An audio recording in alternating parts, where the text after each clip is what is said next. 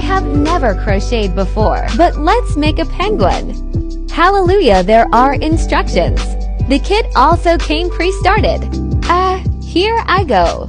Guys, guys, guys, I finished my first time around.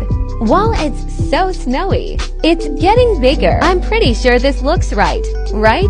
We're getting somewhere. I'm feeling more confident stitching.